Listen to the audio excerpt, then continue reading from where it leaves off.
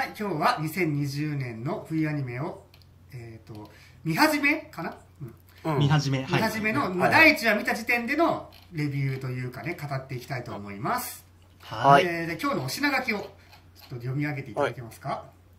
あ、俺？えっ、と、まず、とある科学のレールガン T。はい、はい。はいえーはいはい次、はい7分の22。うん。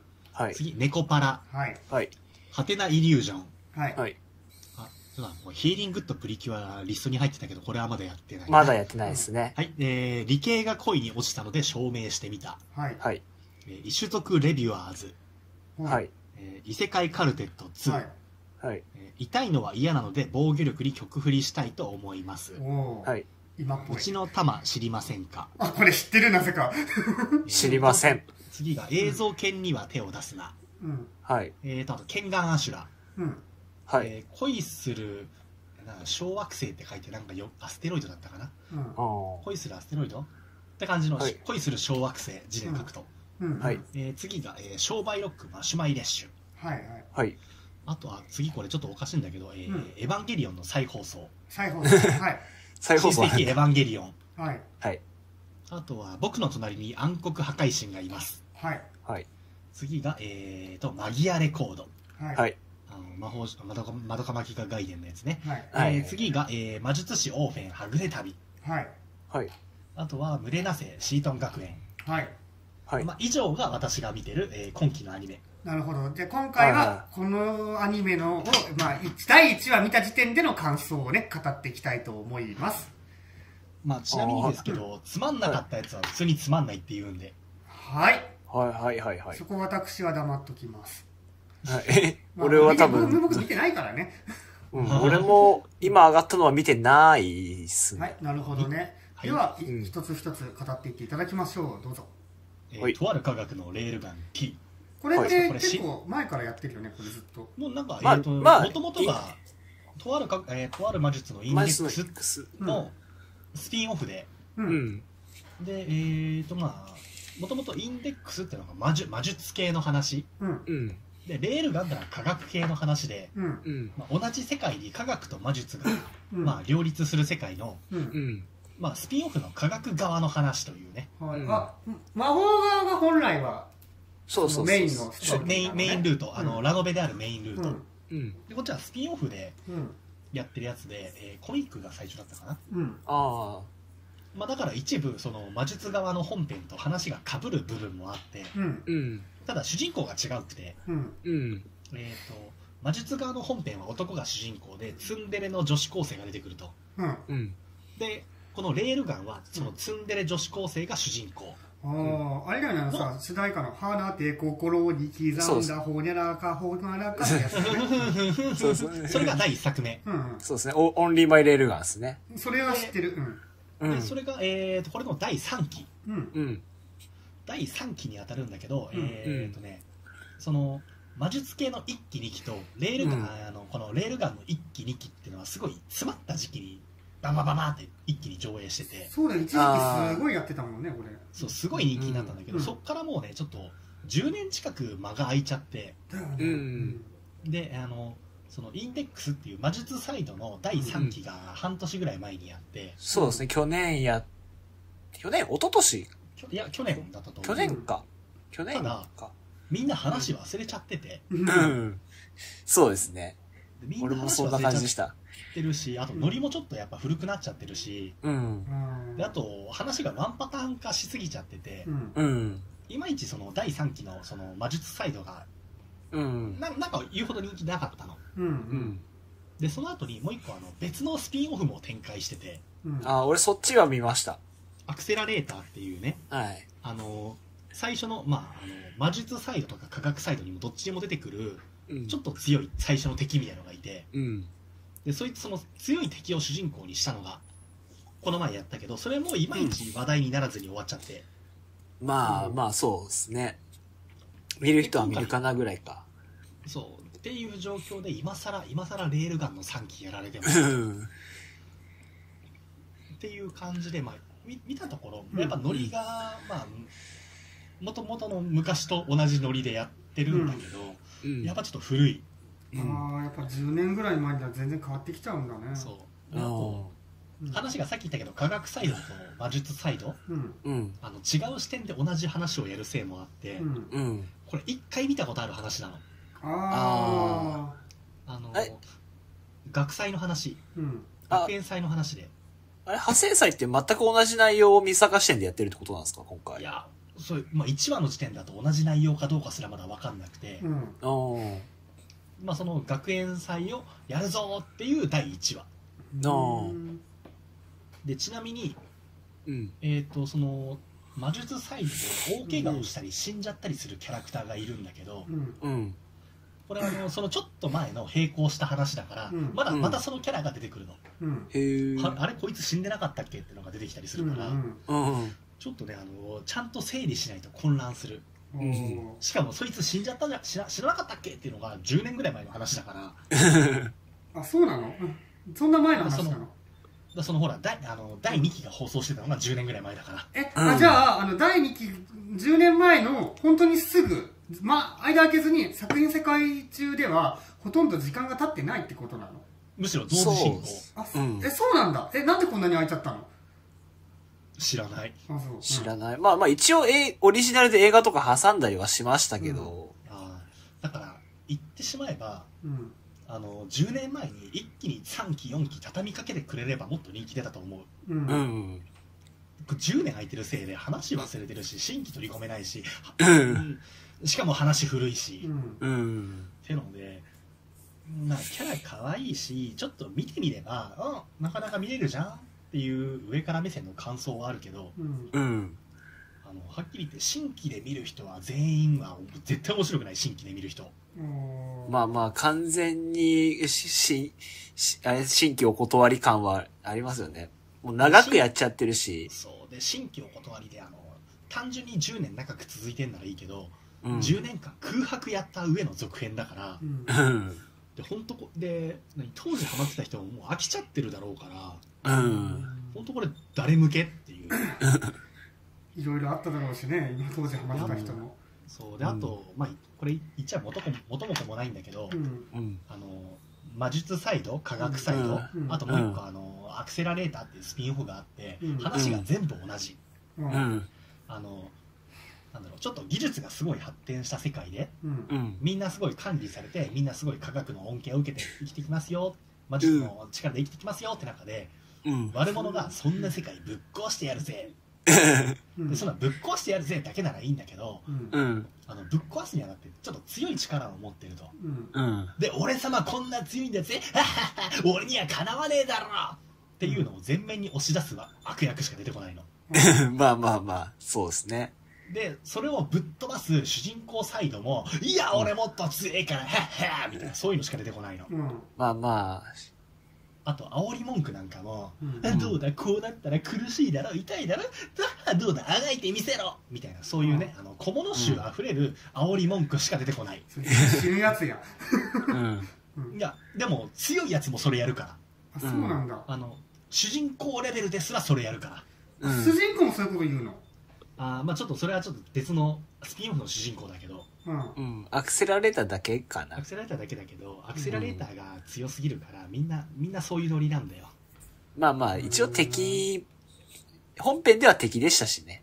まあ、あと、まあ、敵はみんなそういうノリう。うんんちょっとワンパターンだし、うんあの科学で支配される世界をぶち壊してやるっていううん。まあ細かいところは違うけど大体同じうんうん。っていうのでまあ個人的に1期2期は見たけどうん。うん。あえて第3期見なくていいか。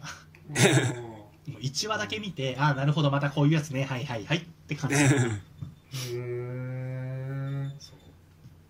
散々語っといたけど1話でもういいやってなった。なんで今それやろうと思ったのかすごい気になるよね。そうだね。まあでも確かに。まあ、ベースが、元が電撃のね、うんうん。あれ電撃文庫のいわゆる古参の部分に入るか。まあいわゆるデュララとか、予算があるし強いし、まあ実際、あでは電撃シリーズ、電撃文庫の最古参の人気作品。うん。うんうん。だから、いわゆるデュララとか、とあるはやっぱその辺、最古参の人気作品なもんで、やっぱやれば当たるんだろうっていう気になってるのかもしんないですね。もう、なんか、とある、とあるブラン、とあるシリーズブランドみたいなのに依存しちゃってんじゃないですかね。まあだから急にここに来てインデックス3キーとか、うん。アクセラレーターとか、レールが3キーって挟み出して、うん。まあなんで急にってのはあるけど、まあ昨今の原作不足とかもあるからとりあえず古いので出してみるかっていう 感じかなと。いうところっすね。なるほど、はい。わかりました。じゃあ次。次、はいえっ、と7分の22はい。これがあのね、うん。ほら AKB とかをプロデュースしたプロデューサーいるでしょ？秋元康。あ、SC、はい。あの人がプロデュースした、あのアイドルアニメ。うん。うん。で多分あのなんだろう。普通の人をプロデュースしてアニメの声優にあてがってうん。うん。でそれにそのキャラクターを当ててなんかやりましょうねって感じだと思うんだけど、うん。あそうなんだ。このアニメが始まる前に、うん。うん。えー、と新アニメの30分枠でなんか声優だかアイドルだかにうんいろいろさせましょうって企画をうん。ずーっと放送してたのうんへでー 3- 3D モデルがないキャラは立ち絵だけ用意してううんん。であの声優にヘッドカメラだけ使えつけて、うんうん。私は今こんなことをしてますみたいなそういうリレポートリポート？うんうん。映像みたいなのずーっと長らくやってきたやつ。がついに、えー、とそのまあモデル声優とそのアニメキャラのモデルが全部揃ったようでうん。うん。アニメ化をするんだけどうん。すごいね。えー。2016年から始まってんだねこれ。そうそう新アニメでなんか週1で30分ぐらいなんかちょこちょこやってた。うんでたまにテレビつけるとやっててうん。あーなんかオタク向けに新しいのやってんなーって思ってた、おがへーついにアニメ化してあタイトルの意味はよくわかんない。7分の22ということかなーへ 3, ー3と7分の1ちょっと訳語しても、うん、まあとりあえずあのね、声優は有名どころではない。でそのアイドルちゃんなんでしょそのまあ多分スカウトしたアイドルの。資格のうん。でうん。あの棒読みがひどいの。うん。ああ、やっぱり。そう。で中でも主人公の棒読みが一番ひどい棒読みの子が主人公。あでしかも 3D モデルがプレーンな感じを目指したのかなんか知らんけど、うん一番魅力がないのあ あの黒黒髪のもしゃもしゃっとした髪でうんあ。うん。一番見た目可愛くない上に一番棒読みあうんあと主題歌がそのアイドルたちが一緒に歌うんだけどあ。うん。あのほらアイドル声優が歌う歌とううんん。あのリアルアイドルが歌う歌ってやっぱ違うと思うの違うねうん。違いますね。ほらアイドル声優はやっぱ声優だからうんキャラを出して歌えるの、うん。でリアルアイドルは同時に歌って声が埋もれる歌い方をするのうん。せっかくそのうんまあキャラ当ててうんうん。でキャラの個性もいちいち作って、うんうん。まあ、多少棒読みかもしれないけどキャラまで当てたのに、うん主題歌がみんな同時に歌うから個性が全員潰れてるね。あー。あ鳥池さんちょっとあのうん話すぎると気をつけてあのああ、すみません。はい。ティッシュかなんかで取って。うん。はい。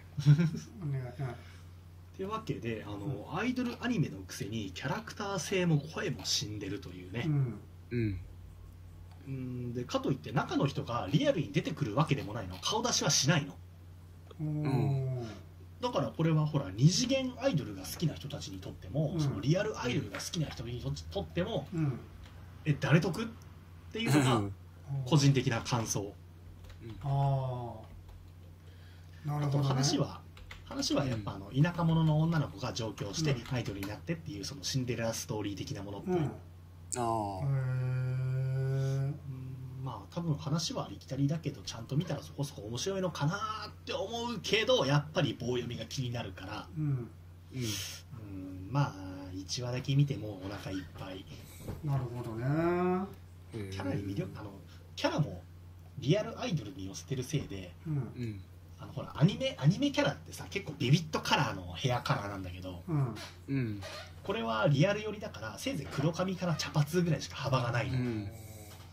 てのもあってうん。言うほどひか惹かれない、なるほどねうん。あのちなみにこれすごい気になるのがうん。あの、うんウィキペディアを見てるんだけどこのアイドルグループのアニメ関係なしに来歴ねうん見てて、あのシングルがね あの、うん。毎回面白いのはシングルデビュー曲が「僕は存在していなかった」セカンドシングルが「シャンプーの匂いがした」うんうん。で、うん。その後の3番目のシングルが「えー理解者。うん。」で最後、ここに来てさ2019年の4本目のシングルが何もしてあげられないっていうのがなんかいいよねこれ。ストーリー。このストーリー組み立ててちょっと面白くない？存在してなかった。の後にシャンプーの匂いがした。いたのかなって思ったら理解者って言って誰？ってなんかこう最後何もしてあげられない理解者が出てきた後に何もしてあげられないって出るのってなんか切ないねってちょっと思っちゃった でこいつ存在してなかったんでしょでそういうことですね。でだからさこのシャンプーの匂いがなんかちょっと理解者あ現れたのかなと思ったら何もしてあげられない。いや存在していないところからなんかプラマイゼロになっちゃった感じがちょっと切ないなと思いましたそそして何もしてあげられないの次の、えー、今年出すシングルが「むずい」なんかいいね。この流れで、うんなるほどね。はいじゃあ次。えー、猫パラ猫からはい、猫パラって多分 Windows 向けのエロゲーかなんかだったかな。エロゲーのアニメなんだ。でエロゲーと同時にあのほらコンシューマー向け家庭用とか一般用向けにエロを抜きにしたようなのも同時に展開された、ーうん。まあ、いわゆるそのギャルゲうんうん。うん。ーでえっ、ー、とねあギャルゲーっぽい。これねあのーアニメの最初にうん。うん。もう俺今3話ぐらいまで全部見てるんだけど、うん。皆さん猫はご存知ですか？っていううんコメントから入んの、うん。でうん。耳があって可愛くてうん。の後に2本足で歩く動物ですっていうの。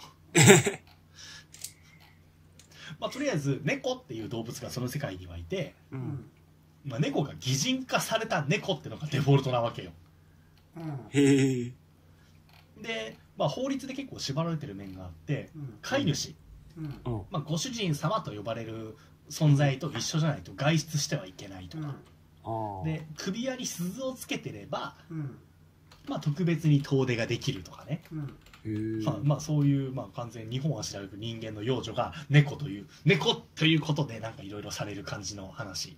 あでもなんか全部その猫の種類があるんだね今見てるけどね。そうそう猫の種族で、この猫はミックスですとかなんちゃらかんちゃらですなんちかんですってのがあってうんうん。で主人公の多分男が主人公があのスイーツショップを開きますと。うん。うん。でまあ都内都心に出てきて。ううん。ん。でスイーツショップを開くんだけど、えーとうん。実家で実家で拾った子猫2匹がいて。うん。うん。でその2匹が成長してうん。うん。でじゃあその2匹と一緒にお店をやりましょうねという話。えあー。あじゃあこれ人じゃなくて猫なのね一応猫です、うんあの人間は今んとこ2人しかいなくて主人公の男とその妹は人間。あ。のだからあの マジカルニャンニャンタルトみたいなもんだと思えばいいのかな？あのね今ね昔そんなにやったなと思ってねタイトル思い出せなくて一生懸命あの2000何年猫アニメで調べて今ねこのこれ言うためにね出したんだけどうんってことだよね待ってそれそれがまず知らねえわうん。あのいやだからこれなんか昔あったアニメでさうん、うんはい。なんだっけかなこれどこどこで見たんだっけ？多分飼い猫さんのい俺多分ね1回しか見たことないと思うんだけど 多分飼い猫さんのうちで見たはずなんだけどあのねあのあったんだよそういうアニメが昔あへのえね。そのね見た目どう見ても幼女なんだけど、うん。だ見てるとあれこいつ人間と言葉が通じてないぞってことになってきてあれこいつマジの猫なんじゃないのっていう。これをよく見たらなんかあれサイズもちょっと人間にしてはちょっと小さすぎるっていうのであこれ猫なんだっていうのをリアニメが昔あって十何年ぶりにこの話を聞いて思い出した。えこれ人間まさにそれ。人間とこれは主人公たちは喋れるの？言葉通じてんの？言葉通じる。あ通じんだ。あじゃあマジカルニャンニャンタルトとは違いますね。マジカルニャンタルトとは違うよ。すごいこれ2001年のアニメなんだ。マジカルニャンニャンタルト？あ作者解釈先生じゃないですか。あの鋼鉄戦士クルビとかあの UFO プリンセスワルキューレとか神奈月の巫女でおなじみの解釈先知生らねまあ、ネコパラのゲームは1023エクストラって5作出てますね。うん。え。へえ、結構出てんだ。ねこれさね猫ってことはちゃんとこれエロゲなんでしょ？エロゲでうん。え？猫ちゃんとエロいシーンが普通にあるよ。え？循環銃が。いや、あまあ、この世界にはそういうあれはないです。あ一応ちょっと待って。えじゃあ動物といたすことは割と普通の世界なの？いや知らねえ。俺ゲームはやってないから。えじゃああの分かんないけどさあのじゃあ人によってはさいる派の私はいる派だって人はバター犬飼ってるし人によっては動物園に侵入して象といたあそうとするやつ違う。あの パソコン版はパソコン版はエロいけどうん。うん。コンシューマー版はエロくないから。あいやでもだからうん。可愛い可愛い猫娘とキャッキャウフフするスイーツショップの店員さんっていう話。いやでもでもさほらそしたらスイーツショップならやっぱりバターもあろうもん。でさでさえでもほらエロゲー版ではそういうことしちゃうんでしょ？あ。ホイップクリームとか使うんでしょ？飼ってる猫が2匹同時に捨て猫を拾ってうん。うん。で黒髪の猫と白髪の猫同時に拾ったからうん。うん。まあ基本その2匹と 3P みたいなのが多いっぽい。公式サイト見る感じ。へえだからこの世界では他に結構循環が 当たり前のように やってるのみんな、そう。それあと実家でもちょ当然猫を4匹ぐらい飼ってて。うん。うん。まあ漏れなく猫は女の子なんだけど。うん。犬はえうんそんなものいないよ。象は？考えたらちょっと恐ろしいけど象はいるのこの世界に。タイトルは猫パラだから猫なんだよ。象は？キリンは？キリン嫌だな。この世界のキリンちょっと怖そうだな。66よし話を戻そうあか。はいはいうん。関関係ないところで時間を稼いでもしょうがないから。あいや違う。なんかすごい気になる、まあ、とりあえずそういうまあ可愛い猫ちゃん擬人化した猫ちゃんうんと、うん。スイーツショップで働いスイーツショップのお手伝いを猫ちゃんにしてもらいますねと。うんいうところだけど主人公の影が非常に薄くてうん。うん。で可愛い猫ちゃんがキャッキャウフフするだけのアニメ。としてはあのまあ、まあ、ゆりアニメとまではいかないけど、うんうん。仲のいい可愛い女の子がキャッキャウフフするだけって考えるとレベルは高い、へえ。まあ、話はガキ向けかなってぐらい非常にガバガバなんだけどうん。まあキャラ可愛いのがアホなことやっててあ可愛いなっていう脳死で見る分には全然いいアニメへえ。あのぶっちゃけ1話見た時にこれちょっと1話だけ見たらもう2話から見なくていいやと思ったのうんうん。ただ最後まで見ていやこれちょっと次見てから考えようって思った。えじゃあゾあー。ゾウが出るまで待とうよ、2話見た後に、うん。うん。いやちょっといやほら3話切りって言葉があるから3話まで見てから切ってもいいんじゃねえのって思ってうん。3話も見た、うん。はい。いやこれもうちょっと見ないと分かんねえなって次も見たい。ハマってんじゃねえか。ハマってるじゃん。いやハマってますね、ほんとそれはね。これ何が面白いって言われたら全然分かんねえし本当どっちかというとつまんないよ、うん。うん。いや俺本当困るわ、うん。でもうん。次は見たい。っ ハマっててるじゃん。いうのがっていうのがこの猫パラです。ハマってるじゃんへー全然。ないいアニメなんだね、うん。多分いいアニメなんだと思う。でもゾウは出てくる。なゾウ出てこないけど何がどういいのって聞かれたら本当わかんねえけどでもなんかお俺の触手にかかったっていうのかな？とりあえず。なんかいい。そう見るたんびにいやこれ本当ねあの見た上で何も身にならないし何も残ってないし、うん。前回どんな話かも全然覚えてない。うん。うん。けどいやちょっと切るには早くないかって思っちゃう。なんかあれだよねだからさほらほらいい悪いと好き嫌いってき違ったりするじゃん。うん。うん。多分好きなんだと思う俺はこれが、うん。なるほどね。といったところでね、うんおすすめはしない。俺は好き、ちなみにこの あの似たようなアニメということで僕マジカルニャンニャンタルトは十何年忘れてるぐらいあんまり印象に残ってないアニメです。しかもマジカルニャンニャンタルトはウルトラジャンプに乗ってたらしいね。へえ2001年5月からうん。2003年6月って結構長いぞ、えそんなにやったんだ。長いですへえ。ー全然。まあ2年ぐらいか。でも月間で2年だから全3巻だって。全然知らんけど。マジカルニャンニャンタルトはちょっと置いといて。てかね、てかね、俺ね、俺ね、あのね、マジカルニャンニャンって呼ぶことを今知った。なんとかかんとか、そうっていうのを、うん、なんとかなんとか、なんとかっていうタイトルだなっていうの。なんとかなんとかなんとか。なん全部なんとかじゃん なるほどね。はい、次。えーじゃあ次、うんええーと、ハテナイリュージョン。ははいい。。手品？えーまあ、まあ、マジ手手品、マジシャンみたいなのがいる世界で、うん。うん人々をマジックで幸せにするよっていう感じ。へーで、主人公男の子で、ちょっと可愛らしい男の子。うんう。ん。で、あるマジシャンに弟子入りしたいと。はいはい。うん。で、あの、超有名マジシャンの娘さんがいて、う。うんん。娘さんと、まあ、昔知り合ってたの。うん。うん。で、主人公が、あの、じゃあ、あまあ、主人公田舎者なんだけど、うん。うん。あの、まあ、進学するにあたって、その超有名マジシャンの家で下宿したいです、と。うん。うん。で、有名マジシャンは、あぜひとも下宿したまえ、と。うん。で、有名マジシャンの娘は、うん。うん。またその昔会ったあの子とまた仲良くなれる嬉しいわって感じ。うん。うん。まあ一つ屋根の下で男と女がキャッキャウフフするテンプレああ。なんだけど、ほはい。主人公の男の子はすごい女顔っていうのかな？う。うん。うん。だから、その、ヒロインの女の子は主人公のことをずっと女の子だと思ってたの。ああ。で、久しぶりに会った嬉しい抱きつきってやって、うんうん。ただ主人公はやっぱいい年頃だから、ちょちょっといきなりそんなことって言うんだけど、うん。あと主人公一人称は昔から僕だったの。うん。ただヒロインは主人公のことを僕っ子だとずっと思ってたの。うん。で、え、こんないい、あの、成長したけどいまだに一人称僕なんだね、ふふふみたいなこと言うんだけど、うん。まあ1話の冒頭で、いや実は僕男なんだよってことはバラしちゃうの。うん。ただヒロインの女の子は、え男と、うんまあ男と今まで付き合ったことなかったから、え、男と一つ屋根の下なんてありえませんみたいなことを いや、お前はアニメのヒロインだからそういう運命なんだよ。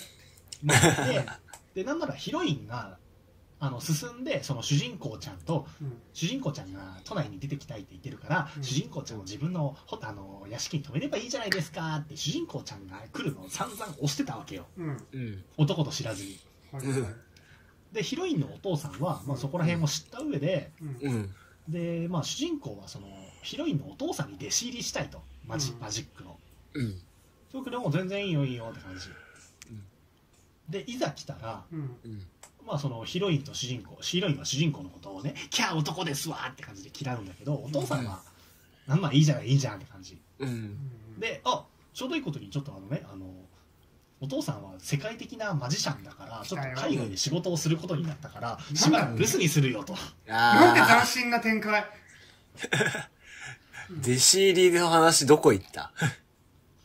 まあまあ主人公はもともといい感じの手品ができてたからねああ、確かにそれ、弟子入りしないんだったら、ついていくべきじゃない？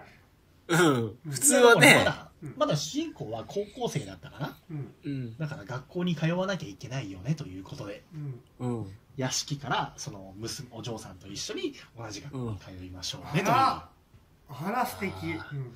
あら素敵もう手品以外は全部どこかで見たことあるやつ ていうかな、ごめん、なんかさ、いや、むしろさ、うんうん。今時って感じだった。なんか、うん。うんあの、これ2000年代の、うん。なんかそういうアニメが乱立してた時期ならちょっとわかるんだけどさ、うん今時それあるんだっていう、まだ。うんまあ今時だよねうん。うんでしかもこれあのどっちかというと女性向けなのかな？うん。男視点ではなさそうな感じをイメージだからちょっと今ググってみるはーんうーんそんなことはないな男だな、うん。だろうね。うんまあ、ゆえにこうオーバーランドの人だな、うんあえーパパキキ乙女さんうーん今もそんなアニメあるんだね。そう本当今更って感じうんあ。確かに。ちなみにだけどうん。うん。あのイリュージョン手品ってことにしてるけどうん。うん。まあアニメの表現上っていうのかな？あのほぼほぼ不可能な魔法みたいな感じにしちゃってる、あ それは弟子入りしたくなるわ。うん。ただ主人公も割とあの魔法使いだからねあへえ。まあこれはあの1話 A パート見るのでちょっともういっぱいいっぱいだったうん。あ。か。あきつくて見てらんなかったへえ、なんかまあ、なんだろう。由緒正しき、もうラブコメ、う、うんんって感じだよね。まあそんな感じだねあのさラブコメってすぐ人を家にあげるよねうん。あのさ警戒心ないっすねた。まに思うんだけどさラブコメ見ててさ昔それはないだろうっていううんのがあって。さ、女の子が公園に倒れてたのね、うん。病院に運ばないでとりあえずうちに運ぶのね誘拐だよね。あの救急車を運ぶ呼ぶべきなんじゃないかなっていう。うん。まあいいや。なるほどね。そんな感じ。まあそういうもんね。うん。うん。わかりました、はい次。次はい。えーヒーリングとプリキュアこれ飛ばす。はい。これまだやまだね。ままだやってない、だですね。うん。えー明日最終回でその次が始まりかな、ああ。もうそんな時期か。えー理系が恋に落ちたので証明してみたあ、俺これちょっとさっき途中まで見てました。1話の？1話の。えー、と大学の研究室、えー理系の研究室うん多分えっ、とね文系とか大学知らない人からすると分かんないかもしれないけど、うん。理系の大学？うん。で卒業する4年生の時にあの研究室というところに所属しなければいけないとうん。でそこで教授の指導に沿った何かしら研究をやりまやんやって単位をもらって卒業するっていうのが理系の大学の一般的なモデルで、うん。そうですねでえっ、とね多分文系の大学だとゼミっていうのがそれに近いかもしれない、うんまあ、とりあえず、まあ、そこにいる大学生の話でうん。でまあ理系なんだけどあの男と女がいて、うん。えー社会科学を専攻してるうん。社会科学だったかな？社会科学っていうのはうん。まあえー、と言ってしまえばその社会的な、えーお金の動きとか、うん。社会で会社が潰れる潰れないみたいなのを理系的に分析できるよねっていうああ。何事も何事も数字に置き換えて分析できるよねといううん。研究をしてるところ、あ、オープニングで言ってましたね。うん、でえっ、とでそこにいる美人の女の人がうん。あるそのイケメンの男を好きになっちゃったっぽいとうん。ただ好きってどういうことか分かんないからんちょっと実験して確認しましょうとそまあ好きな人に例えば壁ドンされたら心拍数が上がると言われてるから壁ドンをたま試しましょうっつってう。うん。で壁ドンさせんのうん。でもう1回じゃ分かんないからデータをたくさん取りましょうっつって壁ドン100回させんのまあいいやで壁ドンを100回ぐらいドンドンドンドンさせると、だんだんねその何十回もやってるうちにあんまり心拍数上がんなくなってくるじゃんう。うんうんんだから実験としてんなんか壁ドンは最初ちょっと新鮮な感じがしたけど最終的に心拍数上がんなかったからこれは恋ではないかもしれないとっうん。ていうようなことをあのまあ理系の何か実験でお互い付き合ってるんじゃないのかってことを証明しようってやってくうん。んなんかちょっと曲がったアプローチのラブコメっていうのかな、まうんううんん。あ、言っちゃえばそのお互いのキャラの内心の描写とかも結構あったりしてうん。男キャラと女キャラはまあ確実にお互い好き合ってるのう。うんんで周りのモブキャラをみんなそれを知ってるうんうん。けどそのメインの2人がそれを認めなくてうんうん。科学的にそのお互い好きだってことを証明しなければならないっていううんごっこ遊びをやってる感じ、あああの理系が恋に落ちたのでってタイトルにしてるけどうん。あのなんていうのかな。理系ってこういうところあるよねっていうあるあるネタをうん。すごい極度に高めた感じ。ううん。ん。いやもうあ理系あるあるを突き詰めすぎて実際にはねえよってレベルまでやっちゃったギャグ作品なるほどね。なんかこれ作この間なんか作者さんがあのリ作者さん？ツイートしてたけどうん。そのもうありえないことは分かってる。なんかもううん本当に自分も誇張してやってますみたいなことは言ってたの。作者さんが、へえ。そう。で作者さんも結構いいとこの理系の大学大学出てんだよね、うん。へえ。でまあその理系とは何たるかっていうのがすごい誇張して。うんうん。あるあるネタのギャグ感っていう。うん。っていう感じ。まあサクッと見れるギャグとか、うん。まあ、あと、まあ、割とベタなラブコメううん。ん。に近いのかな。が好きなら楽しめるかもしれない。はいはいはい、うん。あのーけどうん。個人的にはちょっとこれあの 2, 話2話3話見てもいいや、3話まで見たな、俺。もう3話もほぼほぼほぼなんかその繰り返しな感じなんですか？同じ。話。ああ、もうなんか壁ドンとかあご食いを繰り返、一個一個テーマにして、それを繰り返していく。そうそう、同じ話の繰り返し。シチュエーションコメディみたいなあそう、そんな感じかな。シットコムみたいなね感じですよねうんそういう感じで、まあ、だから1話、2話見て合わないなと思ったらもう見なくていいし、うんこういうの俺好きだわと思ったら全部見てもいいと思う。ほうん。って感じかな。なるほどね、いうんはい次次、えー、異種族レビュアーズ。これなんかあーなんか。この間秋葉でトラック見たよこれの。ああ、そう、なんかそ、あの、トラックあのバ。ニラ、バニラみたいな。そうそうそう。トラックと一緒にいるよね。うん。そうそうそう。そう。だから俺本当にその風俗のあれかなっていう。風俗ってそういうなんか、うん、高収入アルバイトの紹介かなと思った、うん。これもともとはなんかツイッターで、うん。あの漫画家さんがネタ画像を上げたら、うん。うん。あのすごい反響が良かったから、作品化したっていうへえ。え何なのこれ？あのうん異種族レビュアーズ例えばうーんとファンタジー系において種族っていろいろいろいるでしょ？あの人間がヒュームとかヒューマルとか言われててうん。エルフとかオークとか、うん。まあ、そういったあの異世界系の種族が全部出てくるのおで、えー、とその世界では風俗営業っていうのは違法なんだけどうん。あのサキュバスはその種族上ね、まあうん。そういう性を吸わなきゃいけなくて。うん。です性吸われたら死んじゃうからさうん。風俗業として管理していきましょうねという世界。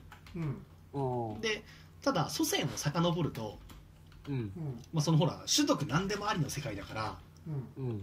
あの遡ると絶対どっかしらでサキュバスが混ざっちゃうわけよ。はいはい、うん。っていうわけでそんないちいちチェックしてらんねえしみんな大体サキュバスどっかで混ざってるじゃんっていうことでうん。うん。まあ誰でも違法風俗嬢になれますと、ほまあ、違法じゃねえな。合法風俗嬢になれますと。ううん。うん。っていうわけでいろんな種族の風俗嬢がいる世界。うん。まあ、い一応あの、まあ、世界観はナロー系によくあるファンタジー世界よ。剣と魔法の冒険の世界。うん。あまあそこら辺は無視して、い。まあ、剣と魔法の冒険の世界でうん。お金のある冒険者がうん。風俗に行く話へへえ。で主人公は人間うん。あのー寿命が80年ぐらいしかない種族えううんん。で相棒がエルフ、ううんん。えー寿命が何百年。でそのエルフっていうのは主人公のお父さんとおじいちゃんとも仲が良かったのう。うんで、まあ、そのエルフの男と主人公が一緒に風俗行くわけよう。うんんで最初に行った風俗がエルフの風俗うんうん。出てきたのがエルフの800歳のエルフだったのほうん。で人間からすると800歳のエルフも見た目すっごい若い女の子ううん。うわこれめっちゃいいじゃんって人間が人間主人公をハッスルするのうんうん。ただエルフの何相棒はうんうん。え何お前あんなババア抱いていいの？ってすぐドン引きするわけようんへえ。でそのエルフの相棒は200何十歳だったかな。うん。うん。で200何十歳のエルフの相棒はその主人公が800歳のエルフを抱いてるのを見てうえーっていうの。見た目同じなんでしょまあね。うん。ただまあエルフ的にはそのマナとかいろいろそういうのがあるらしく。うん。ああ。マナとか魔力とかうん。そんなマナの枯れた年寄り抱いてみたいなこと言うの。人間からす人間からすりゃ分かんねえよと。うん。あでそこにあのね人間の80あの6070のババアが現れるの。うん。で、まあ、エルフちゃん最近お店来てくれなくて私寂しいわってババアが言うの。うん。ただ人間の主人公がババアの登場にドン引きするの。うん。うん。ただ相棒のエルフの男はうん。うん。「わあなんとかちゃん最近お店行けなくてごめんね。今日行くよ」って言われるババアにメロメロ。うん。で「えお前あのババアになんでそんなメロメロなの?」っつったらうん「いや年齢100歳にも満たないピチピチギャルじゃん」みたいな。なるほど。そういうことか。そういうことうか。ん。まあ、種族の違いよ。へえうん。でただ人間はうん。いやあんなババア抱くだけなんで信じらんねえと。うん。うん。エルフからしてもお前もババア抱いてて俺こっちがわけわかんねえよと、ああちょっとそれ面白いね。ううんん、面白い。でじゃあ、あのーレビューを書こうとうん。うん。どっちがいいか？あだからお互い自分が抱いた女のそのレビューを書くわけよ。うん。うん。年齢800歳だけどエルフはやっぱりピチピチで見た目が若くていいなとか。うん。うん。人間はあの寿命が100未満だけどうん。ってことは女はどんなに年を取っても年齢100未満だからうん。若くて柔らかくていいよ。それもどうかと思うけど。うん。まあまあそういうねうんあくまで視聴者は人間だからそう思っちゃうかもしれないけど、うん。うん。異種族か異種族からすればどうかっていう、なるほどね。まあ、レビューをその冒険者ギルドに貼るわけよ。うん。ううん。ん。で冒険者ギルドからするとその記事をあのーまあ、コピーしてくれっつったら、うん。うん。まあ、その記事元に収入が入るわけよ。うん。うん。っていう感じで。でそうこうしてるうちにその、まあ、い異種族の風俗をレビューする仲間を揃えてでまあ主人公とそのエルフはすごい使い手の冒険家でうん。かなり強いらしいの、うん。うん。でまあ冒険に出てそこで天使を助けるの。うん。うん。天使ってのはあの両性具有っつって男でもあり女でもある。うん。うん。でお前男か女かって聞いたらチンコあるって言うからうん。えじゃあ一緒に風俗行こうぜって。うん。言ったらまあその世界はほら天使も悪魔も妖怪も化け物も怪物も何でもいる世界だから。ううん。ん。いやいや天使はそんな不純なところに行くわけにはいきませんって言うんだけど、うん。天使連れてったら天使意外とそういうとこ好きで。うん。まあまあ天使の男の子とエルフと主人公とあとあともう一人なんかつく感じ。ううん。ん。で風俗行ってレビューをしてこうと。へえ。なんかなんかあれだね。絵が微妙に可愛くてなんか、うん。なんかね。いやらしいことをしてるんだけどあのいやらしさが効いてるっていやらしさがそこまで感じないからなんか見てられる感じはあるかもね。そうそうそう。これ多分もうちょっとほら等身高い、うん。それこそさっきみたいな絵の具みたいな絵だったらちょっとその見てて結構辛いかもね。そうこれデフォルメ効いてるから、うん、あのギャグとギャグとして、うん、そういうジョーク、うんジョークとして見れるからいいね。そう。おうこれだ今期俺これ一番面白いのかなと思ってる。うん。で毎回毎回そのいろんな種族のエロい。うん。毎回そのうん。いろんな種族の。あのまあエロい風俗行って。あそこはああだった。ここはこうだった。っていうのを話し合う。へえなんかそのキャラクター一覧見たんだけどさあの、うん。おばあさんがなんかおばあさんだね。そうそうそこうなんかそのね気持ち悪くない程度のデフォルメが効いてて見やすそうでいいね。うであとあのフェアリーの風俗に行くと話があってう、ん。まあ、フェアリーって妖精だからすごいちっちゃいうん。うん。やつでうん。じゃあまずあんたの一物のサイズ測るよって言って一物のサイズを測られるの、うん。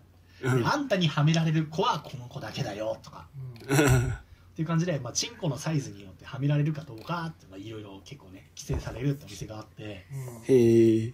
天使の子を測ったらいやあのこのサイズはめられる女の子はこの店にいないって断られちゃうえ。だから天使の採点は0点なんだけどうん はめられる子はいないってから0点でした0点ですって言うとそれ居酒屋っていうかギルドっていうかの壁に貼られてるんだけど、うんううんん。その書き込みを見てざわつくんだよね。はい。天使の天使の子って結構すごい可愛い小柄な子なんだよ。うん。うん。あいつそんなすげえ一物持ってんの？ざわみたいな。のがあったり。まあまあ下ネタギャグが好きならおすすめ。なるほどね。へえ。わかりました。次。異世界カルテットお異世界ものだまた異世界だ。違う違うこれあのー何系っていうのかな幼女戦記とかリゼロとか、うんうん。あのーこのスバとかうんうん。あまあ割と流行った異世界もの。のキャラクターをデフォルメしてうんうん。同じ学園の生徒として異世界転生さらにされちゃいましたっていうはちゃめちゃコメディみたいなやつえなんか何それ？えスパロボみたいな感じ？あそんな感じ。あクロスオーバーっすよねうん、クロスオーバー。のうん。ギャグ調の強いやつ。ああ。へただ俺このリストに載せておいてなんだけどーうん。うん。割と嫌い。あの、うん寒いんだギャグが。あでもあーなんか大体こういうのってさ、まあ、企画ものっていうかその、うん。なんていうの？これ元のファンがいてからの成り立つもんだからそれぞれの作品に思い入れがないとあんまり面白くないんじゃないかなうんだ全部の作品を見た上でうんうん。っていうのが前提条件うんうん。でまあ俺は全部大体見てるんだけど。全部見た上でなんなんていうのかな同人誌の寒い4コマ漫画見てる感じああ。でまあ1期がやっててうん。で、まあ、2期もちょっと最初の1話見たんだけどうん。やっぱちょっと寒い同人誌読んでる感じかなと思っちゃうアニメもこれなんかなんていうの？フラッシュというか。うん。あそうすごい簡単なフラッシュアニメって感じ。簡易アニメみたいな。今フラッシュは、うん。フラッシュアニメじゃないんだけどね今フラッシュないから。うん。うん。じゃあ次。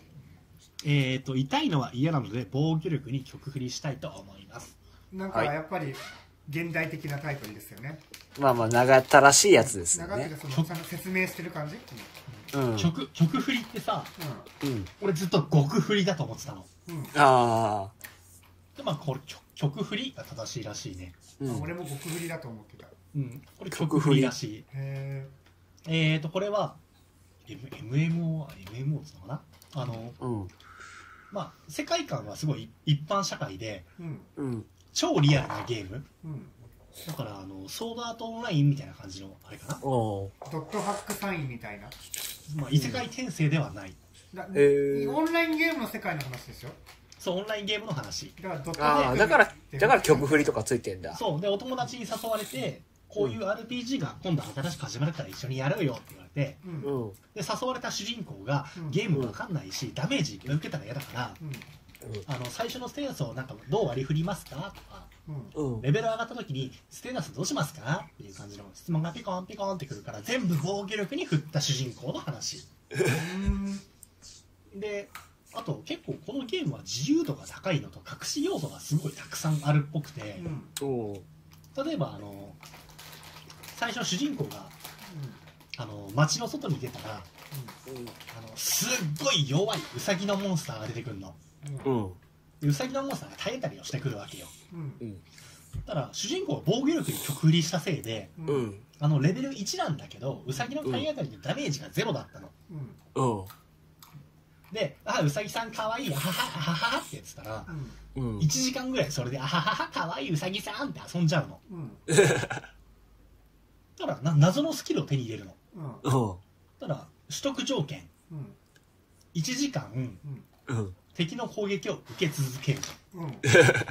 でその間敵に相手にダメージを与えてはいけないみたいな。っあていう隠しスキルをスキルをゲット。うん。とあと毒の毒虫がいてうん。毒をビャー浴びるわけよ。うん。でうわー毒だ毒だっつって毒の対策をしないでいるとうん。うん。毒を何分以上受けたことで毒耐性を獲得みたいな隠しスキルをバンバン手に入れていくわけはって感じでまあ主人公のは女の子なんだけど初めてゲームをやりますだけどあうん。うん。ちょうどいい感じにその攻撃をしないことで得られる隠しスキルをバンバンゲットしてってはあで防御力じゃんじゃん上がる。あでまあレベル1なんだけど全プレイヤーの中で一番防御力高いぐらいの防御力になっちゃうの。ええうんでそれでいてなおレベル上がりましたっつったら防御力上げないと不安だっつって。うん。防御力を上げまくるという。うん。えー。まあうーん。まあ多分主人公に都合のいい感じのスキルが多すぎるなとは思うけど。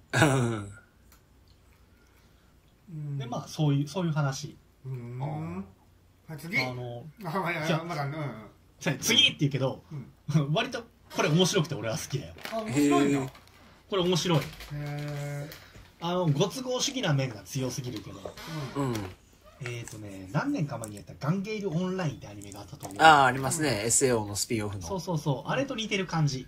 ああとキャラクターはみんな可愛くていいね。あ。なあ。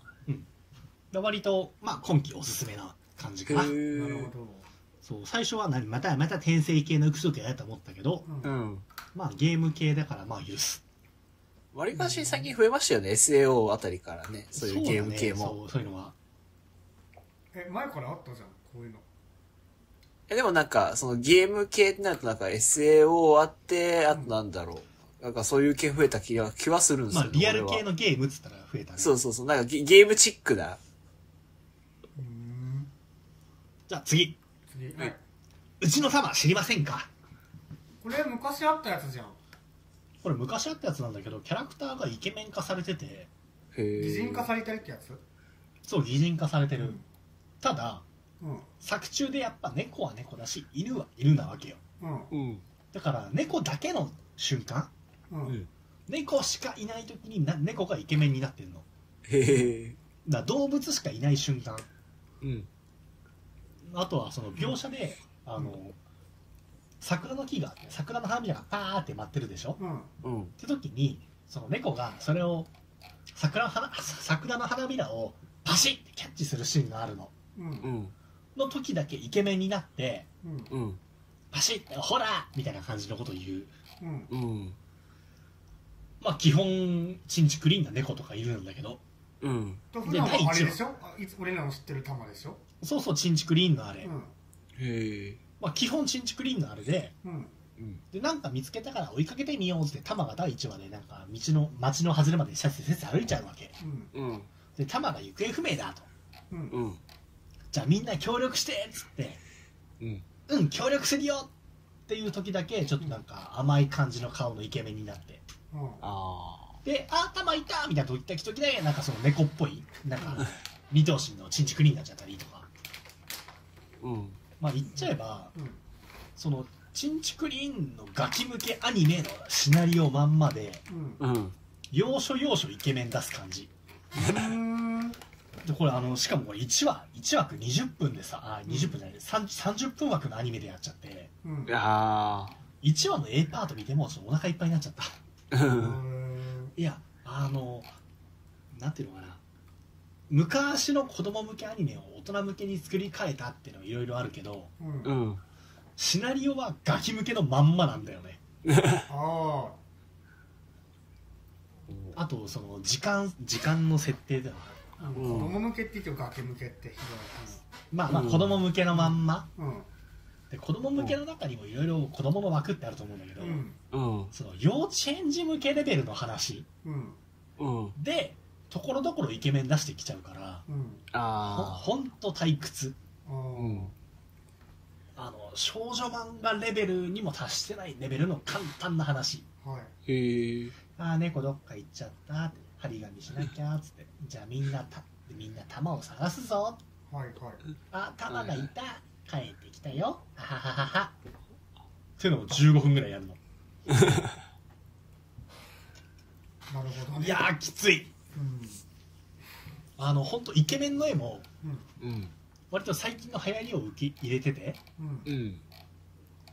まあ、まあ、最近の不女子受けを狙ってるんだろうなってのは分かる、なんかもともとアニメじゃなくてこのタマフレンズのうん、えっとうんなんかなんかの企画で擬人化の企画があったらしいねへえ。だから擬人化のレベルもちゃんとあの元のキャラを意識してるしうんうん。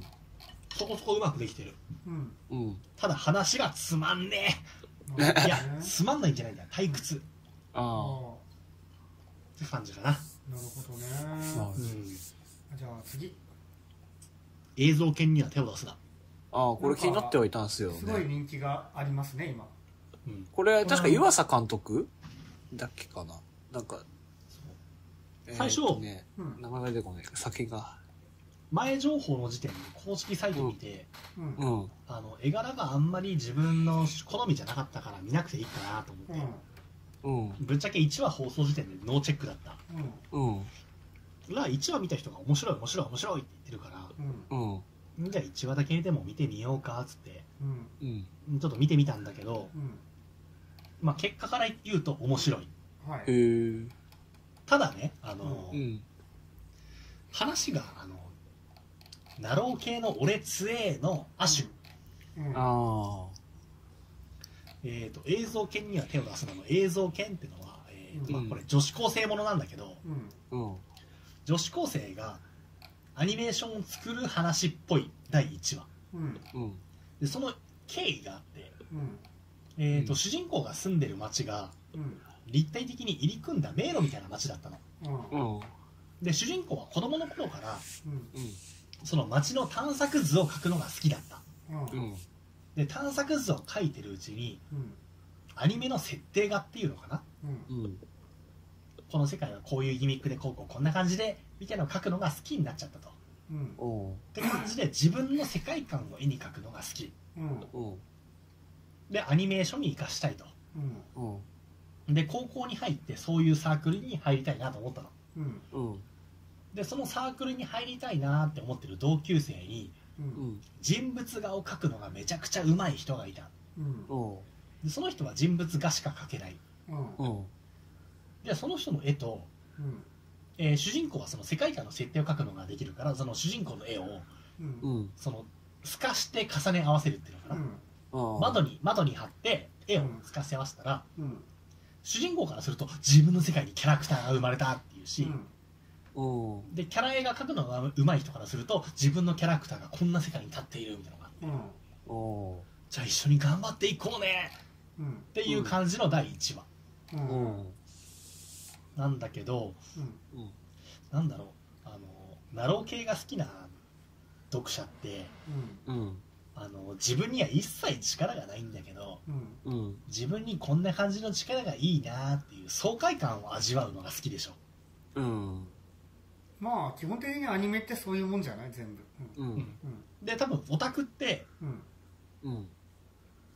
まあ、絵がか絵描くの上手い人に憧れるってのは割とねあると思うの、うんううん。ん。でまあもう実際絵描くの上手いかどうかっつうとうん。オタクどもって絵描くの上手い人はほんの一握りっしょ。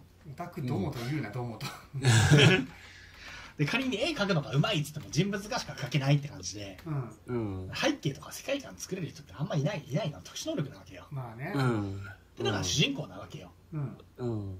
でこのここが上手いなと思ったのが、うん。うん。人物画を描くのが下手な人って、うん。うん。あのあれ？世界観の絵ならいけんじゃね？って夢を見れるんだよね。うん。あいや自分ちょっと人物下手だったかもしれないけど、世界観ならいけるかもとか、頭の中に妄想膨らんでるからこれいけんじゃねっていうのがあって、あ。うん。でそれがこのアニメの主人公なわけよ。うん。で、まあ、人物が描ける人と出会って、うん。世界が広がってこれ何かすごいもの作れんじゃねっていう。うん俺強えっていうやつの変則形態だよね。あともう一人いるんですよあの完全プロデューサー側の人。あまあプロデューサーっぽい人もいる。うんっていうかへー。そそこ割と俺そこ重要な気がするんだけど。さあうんマジあのうん。だってあのここの二人は何か生み出すことができる人間が二人いてうんうん。そこに自分では何も生み出せないんだけど何かプロデュースというかそれをそいつらを動かすのがうまいやつが一人いてあそうそう。金お金大好きながめつい感じの方がいて、うん。でこいつら二人を利用すればもっと金稼ぎいい感じできるんじゃねっていうん。うん。そうだね。絵が上、えーキャラ上手背景上手プロデューサーみたいな、うん。プロデュース上手みたいな。あ確かにね。で多分その自分にないものもしくは自分に近いものうんうん。まあオタクが自己投影できるっていうのかな、うんうん。多分俺は主人公である背景上手って人が一番自己投影しやすい対象かなとは思ったんだけど、うんうん。D ギーキーからするとプロデューサー的な方があれだったのかないや違う違う。いや違う。あのじゃあじゃあなたまたま。かあのなんたいやそうじゃなくてあれってかなりキャラとして重要な気がするからあなんか今の話だとなるほどね2人しかいないみたいで。あー。ああ俺が言葉足らずだったわ。うん。なんだろうあの2人だけだとなんか話進まないんだよね。あまあね。でだしそのほらさっきも言ったけど自分にできないことをなんていうかアニメの主人公たちに夢見たいっていうのは大きな意ん意味だとすると、こいつその、プロデュース側って実はあの一番主人公側かもしれないじゃん。何もできない。でもただ仕事はできるぞみたいなところでね、あとほらこの作者の大原さんっていう人もほら自分この人がほら、独学でアニメで学んでたりとかさあの、高校時代に映画部に所属して自分で自主映画とか撮ってるような人だうんうんもともとはね、うんだから結構その辺は重要な気がしたからちょっと補足というか、まあうん見た感じ面白いうんうん。けどやうーんまあ面白いんだけどうん狙ったなあただえーとねアニメうち普通あの地上波の録画で見てるんだけどあ。うん。1話2話がちょっと録画できてなくてうんうん。で1話は見られたんだけど2話目どうしようかなってちょっと悩んでるところあれ、これ、確か監督、湯浅さんだっけかな？そう、さっきちらっと言っ湯浅さんです、そうあの、デビル、あれ、ネットフリックス版デビルマン？うん。うん。とか、あと、なんだっけ、こ夜に恋せよ乙女とかなんだっけ、なんかそんなタイトルのやつ。命命短し恋せよいああ、そうそうそうそうそうそう。とかの監督さんだからなんか結構その辺のアニメ界隈で注目株って言われてた監督さんがやるって言ってなんかみんな注目してたんですよね。うんあそうそうそう。思い出した思い出した。ね、ちなうん。みにこの浅野なんさんっていう人はおそ松さんとかもやってらっしゃいます。ーキャラデザの人か。うん。そげな感じです。はい。はい。はい次。えー、ケンガンアシュラはいああ、はいはい。こ。れ確かネットフリックスかなんかで半年半年前だっけかな、うん。配信されたアニメだったと思うあ思うんだけど、うんはいえー、格闘アニメ、うんあれ、これ結局地上波に移っ、もうい、でも見れるようになったんですね、今回。まあ、今もう3話ぐらいまで放送してるああ、そうなんだ。へえ。えーとねまあうーんなんていうのかなうんバキと同じ、うんああ、まあまあ、パッと見はそんな感じしました。うん、あの例えば結構あのね実際にある会社、うん企業のうん。オマージュみたいな企業があってうん。うん。で企業同士が格闘家を雇って戦わせると。うん。あで勝った方が、まあ、その戦略的に優位になる。うん。あ。うん。あそこのビルの解体をしして新しいビルを立ち上げる権利どっちが得ますかっていうのでうん戦略的な争いって当然あるわけじゃん。うん。を格闘技で決着をつけようと。うん。うん。うん。っていう世界。でまあケンガンアシュラって名前だ。ケンガン試合ってのがあって、まあ、県外県外試合を申し込むっつって企業同士が申し込み合うの。うん。うん。でお互いその格闘家を雇って格闘家同士で戦わせて、勝った方の企業の要求が通ると。へあえ G ガンダムみたいなもんね ああそんな感じ。G ガンダムみたいな感じ、うん。あ。まあまあ、確かにそうですね。で G ガンダムは勝った優勝の最後の一人だけどうんこれは一戦ごとに全部が決まる、ほうほ東があの、まあ、DK 株式会社と海吉株式会社が戦って、うん。一戦ではい終わりみたいな感じ。うなるほどね。ただまあこれもあの原作の漫画は完結してるんだけど、うん。うん。まあ、当然ねあの主人公の戦いが一番つまんない。いやあだって主人公絶対勝つじゃん。あまあまあ、そうですね。主人公すごいピンチになるんだけど、うん毎回絶対勝つの、うんうん。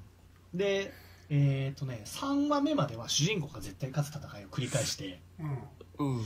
で今3話が終わったとこなんだけど、うんうん。トーナメントを開催するって宣言されるのうんうん。でトーナメントになると主人公以外のキャラ同士のた戦いが出てきてうんうん。原作の漫画だとそっから面白いへえあのバキだとうんまあ多分似た漫画でバキってあげたんだけど、うんうん。バキって戦う前にこいつ勝つだろうなって結構容易に想像できたんだようんうん。ただこのケンガンアシュラのトーナメントはうんうん。どっちもキャラが立っててうんうん。いやこれ本当にどっち勝つか分かんないっていう試合をずーっと繰り返す、まあ、ただ主人公戦は主人公絶対勝つから面白くないっうんうん。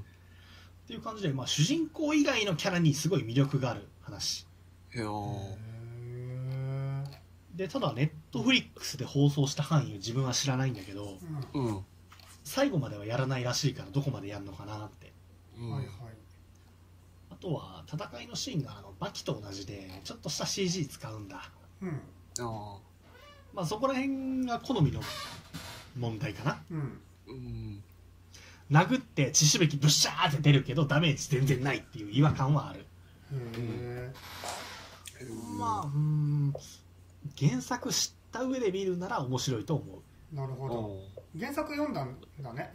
あ原作はね、えーっと漫画ワンってアプリを入れるとうん。うん。1話から全話視聴できあの見られる。へへえなるほど。で「ケンガンアシュラ」も終わってて今続編の「ケンガンオメガ」ってのが無料配信されてるけど最新の1話しか見らんない。なるほー。ど。あただアプリ入れれば全話見られるなるほど。それは別に違法ではなくてちゃんとした。そう公式で配信されてる。なるほどね。わかりました。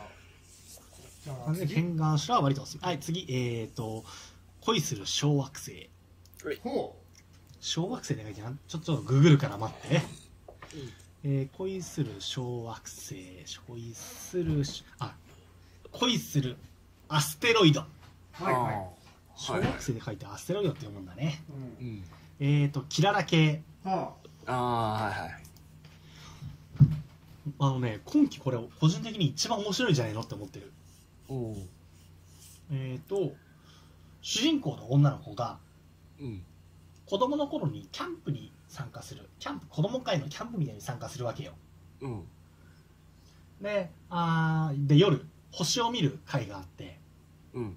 なんかつまんないなーってプラプラーって一人で歩いてると、うん。ある一人の子に会うの。青っていう子に会うの。うん。であなたは誰って聞くと私は青。うん。で主人公のがなんか名前を名乗るんだけど、うん。ちょっと待って主人公の名前忘れた。ググるから待って。えーと登場人物。あそう。主人公は名前がミラっていうの。うん。でミラっていうあの星があるんだってへえでその青って子が言うの。うん。青って子が言うにはあミラって星の名前と同じじゃんっていいなって。うん。でも自分の名前は青だからうん。青っていう星がないんだようん。でそしたらしあのまあまあ主人公とその青って子の話の間で新しい星を見つけたらその星の命名権をもらえるでしょそうだから新しい星見つけたら青って名前の星がつけられるねみたいなこと言ったら2人でじゃあ新しい星を見つけようようん。っていう子供の頃の約束があるわけ。はい。うん。でまあその青って子はすごいボーイッシュなボーイッシュな子で。うん。で主人公は可愛らしい女の子で。うん。うん。うんまあただその何何子供会みたいなとこ一緒だったんだけどその後、主人公とその青って子は会うことがなかったの。うん。うんで主人公が高校に入ってうん。えー、と天文天文部みたいなのがあったの。うん。で天文部は実は部員が少なくて潰れちゃったから地学部と一緒になっちゃいましたと、うん。うん。で部室行って天文部で「はい天文部入りたい」っつった。ら「なんで天文部に入りたいの?」って当然聞かれて。で昔話をするわけよ。青っていう子に会って。うん。で青青の名前を星につけたいんだうん。うん。っていうとあのえその青って子ってひょっとして、うん。うん。まあ、当然新入生でうん。同じ天文部に入りたいって子がいてうん。うん。でその子青って名前でうん「あれ!」みたいな。っあて感じで何年かぶりにその青と主人公が会ってう、ん。まあ、天文部と地学部地学部が合同した部活で新しい星を見つけて青って名前を付けようね。うんうんっていうお話。なんかこれ主人公2人とも女の子なのね。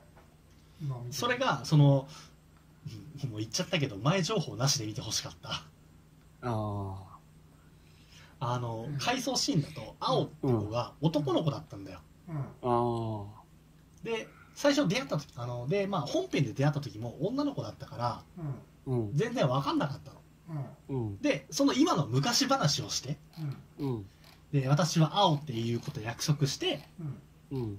あのわあの新しい星を見つけて青って名付けるんだっていう時にうん。うん。えその青ってこの子じゃないのってそのうん。同い年の女の子がバーン出てくるわけよ。うん。あで私は昔髪の毛短かったのかから男の子って思われちゃったのかもみたいな話があって。あああって感じであのキララ系のにこれ男出てくんの？うえーって思ってたらまさかのやっぱりユリ来た。さすがキララ系。でもー15年前だったら絶対男だったよね。まあ、とりあえずその女の子同士のすごいいい友情を描いた。うん。で当然その地学部とてあの天文部が潰れちゃって天文部と地学部が一緒になっちゃったせいでうんうん。で地学部の先輩とかのその地学っていうのがその河原に合う石とかが、うんなるこうこうこれがこうこうこうでねみたいなうんうんちくを語るめんどくせえキャラがいいんだけど、うん。うん。まあそういうのをひっくるめて女の子しか出てこなくてキャッキャウフフして面白い。あだからこの恋するアステロイドってのは今季うんナンバーワン、ナンバーツへえ。種族レビュアーズに次いで面白いぐらいかな。なるほどへねー。じゃあ次。まああまあどうぞはい。まあまあ1話ネタバレしてたけど、うん。まあ、ネタネタバレした上でも面白い。キララ系が好きなら本当いい。っうん。あて感じかな。はい。まあ、キララ系って時点でネタバレも何もどうせ女の子なんだろうとは思って。まあねキララ系だからね。女の子なんだろうなっていう印象しかなかったから、あんまり不思議でもなかったけど。あ。うん。まあキララ系です。なるほどね。はい。はい。次、えー商売ロックマシュマイレッシュ。う。ん。マシュマイレッシュってエルマイリッシュと似てるよね。マシュマイレッシュって何？知らない。うん。エヌマイリッシュはうん。天地カイリスカイリスなんちゃらの剣だから。これは何のアニメ？えっ、と商売ロックっていうのがもともとサンリオ系であって。ああこれサンリオなんだ。へあサンリオ。えで、えーとうん。商売ロックっていうのがあって、うん。えースマホゲースマホの音ゲーかな？うん。あがアニメ化したのがあって1期と2期がもう34年前に放送してたの。うん。あ。うん。のスピンオフ、うん。へうん。まあ、同じ世界の別のキャラの話。えあ田舎からそのえっ、とね商売ロックの第1作はうんうん。現世からその商売ロックの世界に異世界転生しちゃった女の子の話だったのうんうん。で最終話でその主人公の女の子は現世に帰ったうんあでその商売ロックの世界っていうのはその獣娘獣キャラ、まあ、男も女もいいんだけど、まあ、獣世界で音楽を演奏してうん。で音楽の力でなんちゃらかんちゃらの世界あでマシュマイレッシュになったらそのスピンオフで同じ世界で。田舎の田舎に住んでる女の子がうん。都会に出てきてオーディションを受けるという話。うん。あでオーディションを受ける過程でうんあるそのバンドの女の子たちと仲良くなってうん。そこでバンドを組もうというところ。まあ結末がどこに向かっていくかまだ分かんないけど、まあ、商売ロックのスピンオフです、これさあのさうん。今サイト見てんだけどうん。うん。これキャラクターが衣装を変えるってこと？ロックするときは。衣装を変えるし見た目も CG キャラになるでしょいやなんかなんか2種類あるからさキャラクターの名前ちょっと待ってマシュマイリッシュ調べる。多分私服と舞台衣装だけだああ違う違うこれ別のキャラなんだ。何？間違えた。あのべこれマシュマイレッシュっていうグループがあってそこには何人かいっぱい人がいてあ4人いる。4人いてその次のところには、えー、ヤスとハチとジョーと小順宗順とヤス。あヤスが2回目。あヤスって犯人なんだろ？次は。あ 違うよ。とあとなんかねなもう一個別のバンドがあってそこにもいっぱい人がいると。そうそうそうそう。うーん。もうだからキャラクターはすごく多い。本当だね。めちゃめちゃ多いね。うんで主人公のチームが4人チームかな。うん。うん。で主人公だけ田舎から出てきたキャラクターで。どんな田舎だろでそれ以外はアンダーノース沢。ううん。うん。うん。うん。下下北沢。ああ、そうですね。そんなそんなのないよ。すげえ安直だな。あんなのさええー、面白い。まあまあ主主人公が田舎からアンダーノース沢に出てきて、田舎ってどこだよこいつ。どこの田舎だよ。ゆ雪国北北の小さな村。うん。サイレントヒルとかじゃない。そのセンスで言うと。まあ、とりあえずそのアンダーノース沢に出てきてアンダーノース沢で知り合った子たちとうん。バンドを組んで、うん。うん。っていうお話。へえうん。なるほど。ただこれがねあのーなんだろう。商売ロックの1期2期を知らなくてもこっから入れる、はい。あはあ。あくまで世界観が同じってだけでいうん。ああの話もちゃんと最初から説明してくれるからうん。ん。これ音楽の世界のなんちゃらかんちゃらは言ってくれるからむしろこっちの方がスマートに入れる感じがする。ああそうなんそれはいいですね。そう。元の商売ロックが異世界転生で主人公は人間界から飛んできた女の方だったんだけどうん。うん。もともとこれは商売ロックのその世界の話だから。っうん。うん。ていう感じかな。なるほどね。へえ。まあ今のところ3話まで放送してるけどうん。うん。そこそこ面白い。可愛い系好きならおすすめ。うなるほどね。ー大体俺可愛い系しか勧めてねえな。うん。じゃあ次。次、えー新世紀エヴァンゲリオン。知ってる。知ってる。俺も知ってる。結構見た。これうんテレビ埼玉とかテレビ神奈川とかうん。うん。て千葉テレビあの MX 以外のうん。うん。ローカル局でなぜか同時に再放送してて。まあ映画あるからね今年はね。まあ今年やりますからね。やっとちなみにだけど俺は、うん。あの新あ新じゃないか。あのエヴァンゲリオンってテレビ放送当時小学生だったから、うん。うちゃんと見れてないんだよね。へえうん。であと、えー旧劇場版。うん。うんは当然見てない。うん。うん。で新劇場版はテレビ放映何回かやったと思うんだけど、うん。うん。ちょっと歯は見た。うん。うん。うん。けどそんな真剣に見てねえし飛び飛びだから全然意味わからん。っう。うん。んてわけでテレビ版が再放送するっていうからううん。ん。ちょっとじゃあ大人の知識で真剣に見てみようかってようやく思えた。うん。あちなみにまあオタク活動してるとエヴァンゲリオンファンってちらほらいるもんで。うん。でなんなんだかんだ詳しく説明される機会も多くて。うん。うん。なんだかんだ詳しい説明は聞いた上でよく分かってない。うん。うん。だからまあネタバレとか散々した上でテレビ版を改めて見てみようという感じ。うん。まあだからまあエヴァ知ってるようんって人だとそういう人多いでしょまあ俺も。初代テレビ版をちゃんと見たことある人ってどんだけいいか分かんないけど。とりあえず俺ここに一人いる。俺は新劇場版を一応テレビで見たぐらいですね、3本とも。ち。なみに僕はあの初めてエヴァを見たのは旧劇場版。あ急激あかだったから本当よく分かんなかった。あの急激なんかもかあの解説サイトなんかちゃんと見ないと意味わかんないなと思って。うん。というわけでまあテレビ版あの初代テレビ版が再放送してるから、うん。うんちょっと見てみようかなって見始めた。なるほどね。そうやったらテレビ版って、うん。あの自分ネタバレした上で見てるから分かるんだけど。説明が足りない。まあまあそうでしょうね。あのこれは AT フィールドとか言っててうん。うん。いや AT フィールドが何かは全然説明されないの。うん。そうだね基本的に。うんうんまあっていうところでこれ難易度高い作品だなと思うから。うん。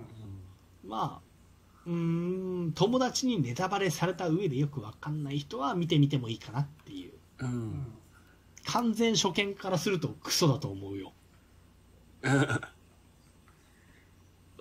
うん。あの昨今のアニオタからおアニオタからするとね自分で調べるっていう脳がない人,、人からすると意味わかんないと思う。うん。あって感じかな調べるというか想像するっていうのがね。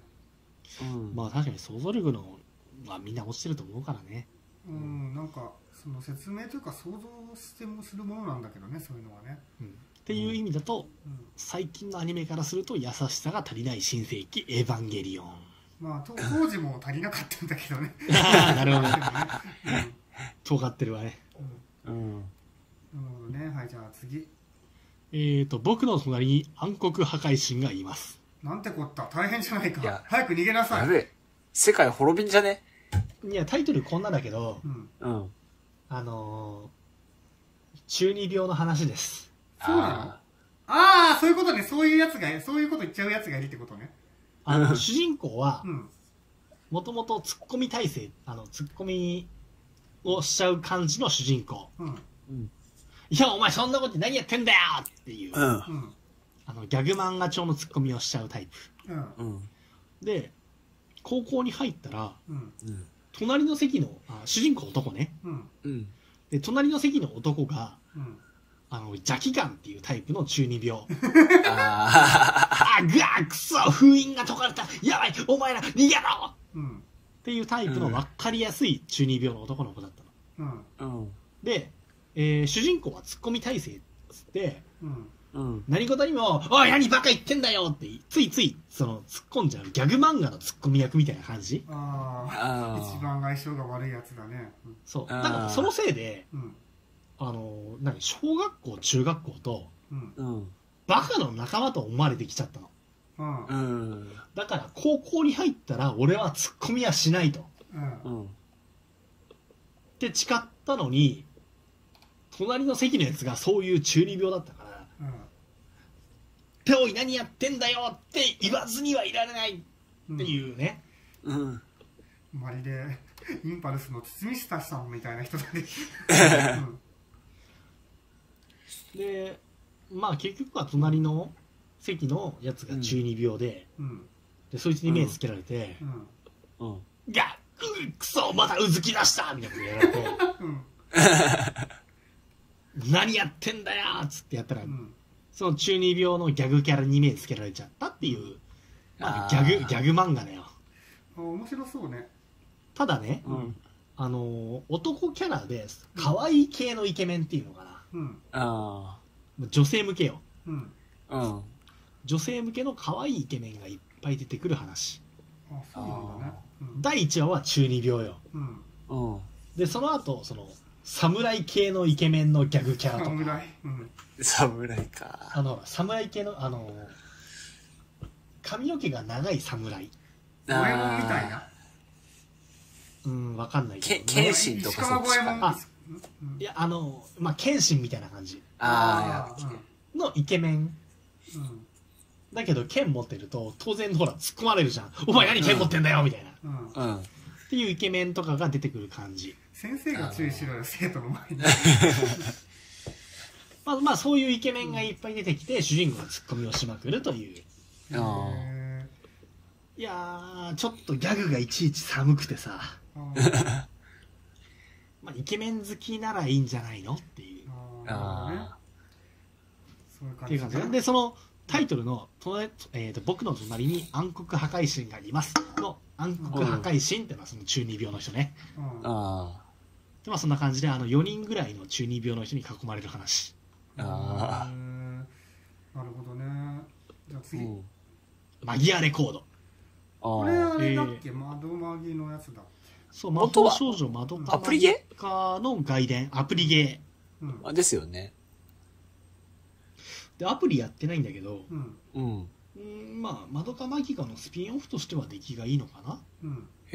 まあ、当然そのマドカマギカってすごい持ち上げられてるんだけど。もともと説明不足とか謎が多いとか仲間が普通に死ぬみたいなそういうね、うんあまあまあね。まあ、うろぶち系のシナリオで持ち上げられてたうん。でそれをまたまあ踏襲してる感じうんうん。でマドカマギカとは別の街の話でうんうん。マギなんかほら魔法魔法少女になると魔女と戦わなきゃいけないっていううん。っていうとこだけ生かして魔女と戦ってねっていう感じの話おうおである町でうんうん。ある町に行くと魔法少女が救われるみたいな都市伝説があるからううんん。でそれに絡んで魔法少女がまた多分苦労したり死んだりする話なのかなって思ってるあああ魔法少女なんてなるもんじゃないですねそうそうそう命と引き換えだからね、うんあ。ね。まあ、面白くなくないこともないうんあただちょっとあのあからさまの謎を散りばめるっていうのが見ててかったるいんだよねあ。あああだからマドカマギカって割と出落ち感が強いじゃんあ。うん。あの魔女の正体とかーうんうん。あの主人公のマドカが魔法少女になる理由みたいなところうんうん。多分その10 12話13話、うん。をかけてのしあのそういう仕掛けを楽しむものだったのに、うん。その仕掛けを超えた上で同じ設定で何か作るって言われてもうんうん。ねえというまあ謎が大きすぎてうん1話2話3話みたいな感じだとううんん。結末どこに持っていくのかなっていうのがよく見えないうんいや確かに同じ世界に魔法少女がいたりすると、こういう苦労はあるんだろうなーってのは見ててわかる。うん。うん。ただどこで終わらせんのそれっていううん。感じが今のところある。ただ終わらせ方次第では良くなったりするかもしれないからとりあえず見てみようかな、なるほどね。へえ。わかりました。じゃあ次。あそれじゃあそれってそれうろぶちさんなの？それはえー、あこれウルプチ噛んでるんだっけ？確かウルプチ抜けてんじゃなかったっけ？うーん。まあ知らん。後からおのおの調べてね。はいはい、うん。じゃあ次。魔術師オーフェン。はぐれ旅。これずお昔のアニメだよね。これ確か夕方6時とかにやってたやつだよね。へえいや。うちは知らん。映らなかったからわかんないんだけど。うんこれはあのね富士見ファンタジア文庫っていうラノベのレーベル、まあ、うん。スレイヤーズとかと同じだよね、あの電撃のブギーポップが出る前のうん。まあそのなんだろう中世ヨーロッパとかを舞台にした、まあ、剣と魔法のファンタジー世界のラノベ。ああ。あの昔のアニメだとそのつんくが歌ってなかったっけ歌あ確かにそんな感じだったと思う、へえ。あれはほにゃへほはへはのやつですよ。知らね知らないっこれす。これ合ってるよね。これで合ってるよね。なんかほらあのあの頃のさなんかアニメのさ主題歌ってさ妙にタイアップ異様に多今より多かったですよタイアップ。そのあ何でもかんででもタイアップでななんで？それがほら当時はバンドも多かったから、うん。バンドも多かったからですよ。漠然としてんだけど。うん。なんかねそういうので結構売れてんだか売れてないんだか分かった人たちがいっぱい歌ってた気がするんだけど。えっとアニメがねああうん。でえっと主題歌が主題歌があそうつんくだよつんくうん。へえ。うん。あでも歌ってる人違う人なのかな？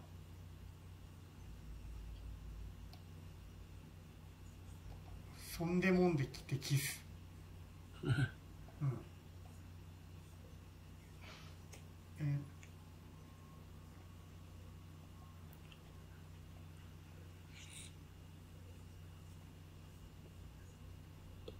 えでごめん全然違った。うん。俺の記憶は何だったんだろうね。うん。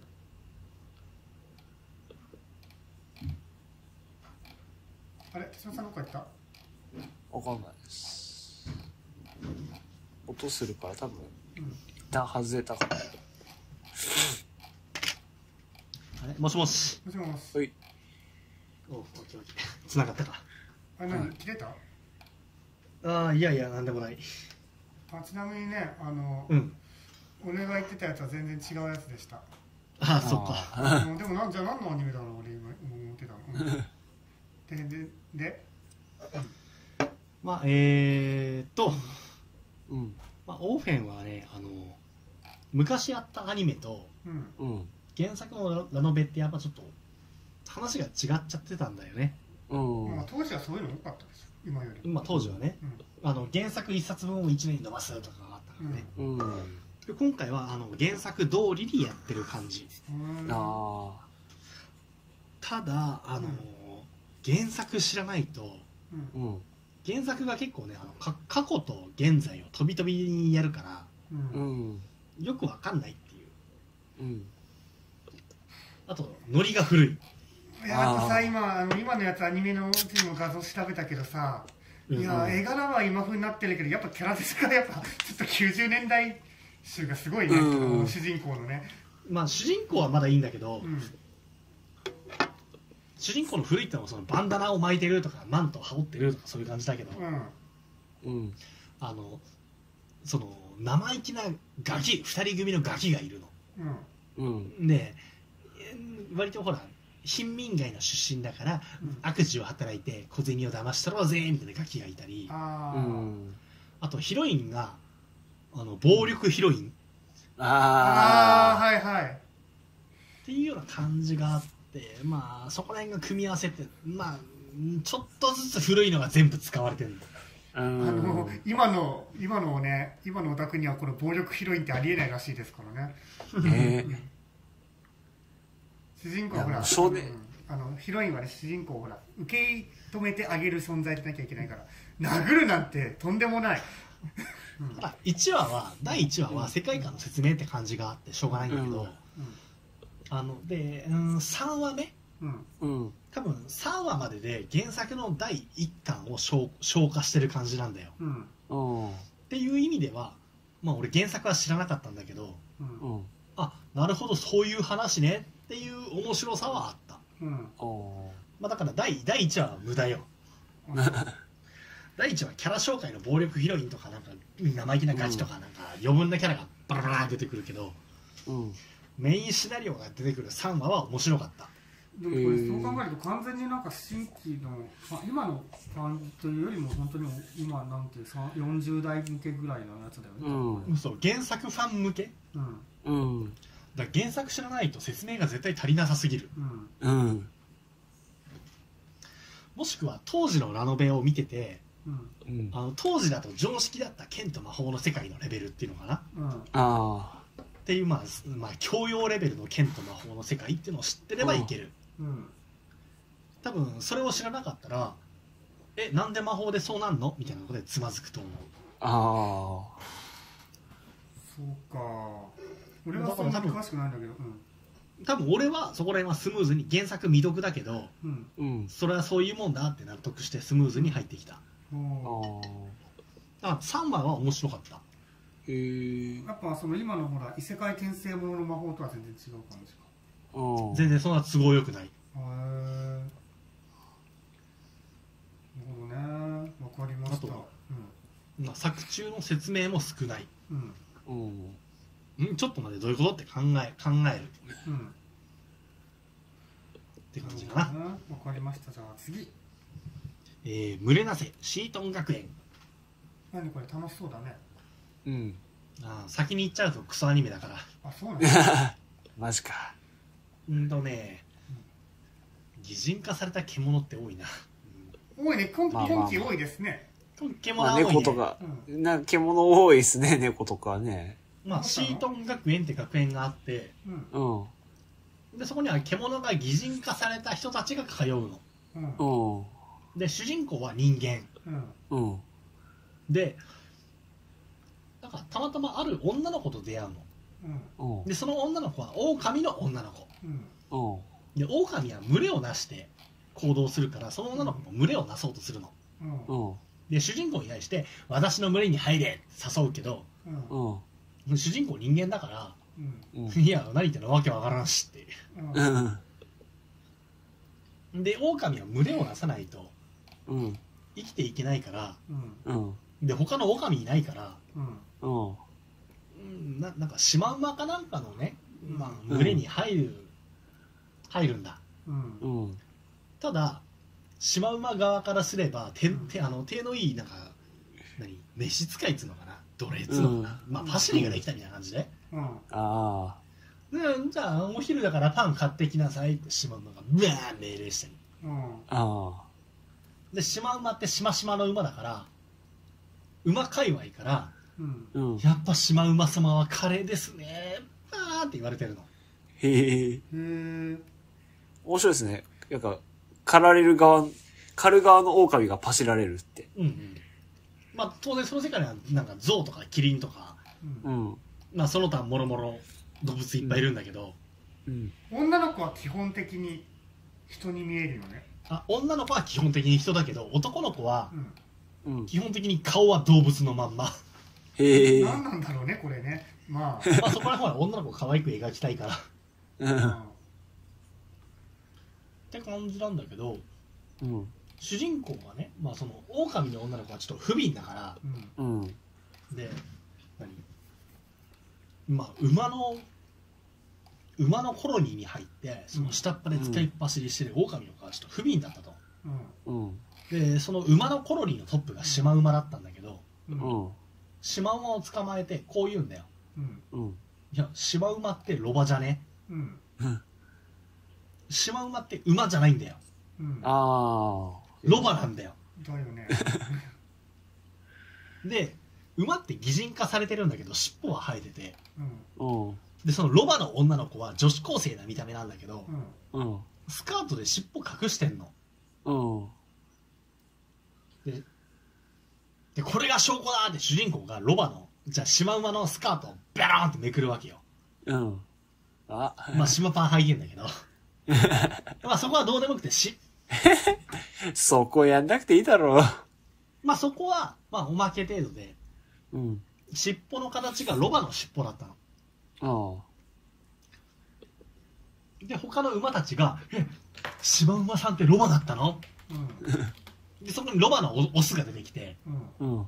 まあ、ロバのオスは顔がロバなんだけど、うんうん。ロバーンって感じで出てきて、うんまあ、シマウマの権威が失墜するわけね。うんうん。で、主人公が、そんな何、シマウマのコロニーで下っ端やってるぐらいだったら、うちのとこに来いよ、みたいな感じのことを言って、うんうん。狼の女の子の、うんを自分のそのハーレムに引き入れると。ああ。まあ、狼的に見るとハーレムの一員に引き入れられたって感じだよね。うん まあ主人公は人間だから、そんなつもりは一切ないんだけど。うんってわけで、その狼の女の子女の子がうん。主人公にベタベタしまくる話。なるほどうん。象は出てこないこの世界あ、ゾウいる、いるいる、ゾウいる。いるんだ。象は大きいの？ででかい、体超でかいよ。へえ。え象ってあの女の子もでかいの？いや、男しか出てこない、ゾウは。お 都合が悪いのは出てこないよ。ー いやだってほら巨大女フェスとかあるじゃん いや、でも、これ、これ見るのは大体その狼少女のロリコンだから。あそっか、うんなるほどねこれも、あのー、獣向けすぎて、うん話が面白くないんだよね。ただなんか見てる獣ってほど獣なデザインでもないけどねもはや言うほど獣でもない。うんあの、へえ動物の習性だけで押し出してる。おーうんせいぜい耳がついてるかなぐらい。うんうんおーあと、エロに変調してるよね。なるほどねっていう感じで、俺、獣なんだけど、言うほどこれ面白くなかったわ。獣ってもうちょっと獣でしょ見た目のそうそうそう。だから、獣向けでもないし、うんうん。単純なギャグが面白いかっつっても、うんうんだし、ううんん。あのー爽快感があるわけでもないし、うんどこ向けなんだろうな、これ。なるほどねなんか今期はさとりと今回話すのはこれで全部かな？ああ、うんそうだね。一応リストアップしてるの全部。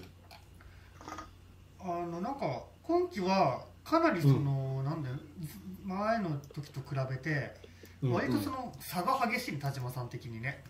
ああ、外れが多い。うんいいものと悪いものがいいものはすごくいい感じなんだけど、うん。悪いものはすごく悪いっていうかいや、本当に面白くなくて、うん、へうん。え。まあだから、今期見ようかなっていうのは、うん。まあ、異種族レビュアーズと、うん。うん。えっ、と、まあ、映像犬とケンガンアシュラと恋する小学生、うんうん。あとマシュマイレッシュ、うん。なんかあとエヴァンゲリオンか。なんか差が激しい感じがしましたねでなんか鳥毛さん一個話したいのがあるんですってああ、そうっす。俺、ちょっとなんか D さんがやるって言うから、まあ、今期はなんか続き、前クールからの続きのやつしか見てなかったんですけど、はいはいはい。一応、なので、ヒロアカと七つの大罪だけだったんですけど、一応今、ピラッと見るので、イドインビ、インベイ、イド INVADED ってやつがあって、イドこれちょっとサスインベイデッド。そう、サスペンスものに近いんですけど、うん。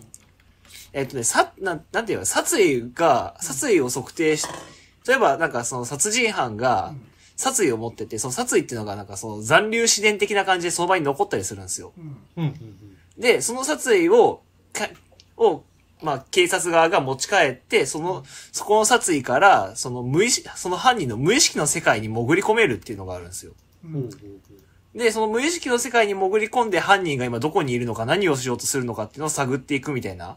うんうそれも犯罪が行われた後。そうそう。まあ、要は連続殺人犯が、っていう話。まあ、今回その、はいはいはい今1話2話まで見たんですけど、その、そのターゲット今回一連続殺人犯で、その頭に穴を開ける連続殺人犯が、次誰を狙うのかとか、が、その、ど、どこにいる、何を、どうやってこ、どうやって殺すとか、動機はとかっていうのを、犯人が残した殺意を辿って、そこから無意識の世界に行って、そこで、主人公がその無意識の世界で犯人を探、犯人の動機とかいろいろ探、探っていくっていう。もう、結構自分その手のササスペンスものとか、刑事系、刑事アニメとか結構好きなんですけど、サイコメトリー系？そうそうそう、サイコパスとかもまあそんな感じだったんですけど、まあ、サイコパス。うんうん。うん。で、それで今回見て、そのま、その主人公っていうのが、まあ、毎回その無意識、無意識の世界に行くたんびに、俺は何をしたらいいのか、自分の名前と、俺はめ自分が名探偵であるってことと、毎回出てくるカエルちゃんっていう女の子が死んでいるっていう状況だけは共通してて、で、その女の子の死んだ理由を探すっていう、いう道すがら、その、ほしは本来の目的を探していく。要は、い、その無意識の世界にインした状態ではもう記憶は一切ないけども、うんもうそれでもうそのさ犯人を探していくっていう。うん。ん犯人の動機をさ毎回毎回インするたびに記憶はな、インした世界ではもう記憶がないんですよ。自分の名前と自分が探偵であることと、犯人をさ、目の前にはカエルちゃんっていう女の子が死んでるから、その犯人を、その謎を解かなきゃいけないっていうことだけを覚えてて、で、それを毎回その、まあ探して、この世界が一体どうなってるのかっていうのを探していくっていう。だから無意識の世界だから、人によって形が全然違うんですよ。う。うんうんうん。その街がすごいバラバラのパズルみたいな状態の人もいれば、荒野の人もいるみたいな、無意識の世界は。だから全く背景の作りが全然違うっていう。中で、その、主人公は、まあその限られた情報の中から犯人を探してい手探りで犯人を探していって、裏でバックアップするチームが、が犯人、手がかりを見つけたら現場に行くみたいな。そう、そういう感じでやっていくアニメで、まあ、要はサスペンスとしてよくでき、できてるなっていうか、その犯人探しとかっていうのが、犯人の動機の部分とかも結構自分、自分好みっていうか、そのちょっと最高な部分は自分好みだなって思ったのと、1話完結な感じね。そうそう、あ、えっ、と、2, 話完結ですね。あ、2話完結か。1、えっ、と、30分枠なんで、だいたいだから1、刑事ドラマ1本分？ああ、はいはいはいはい。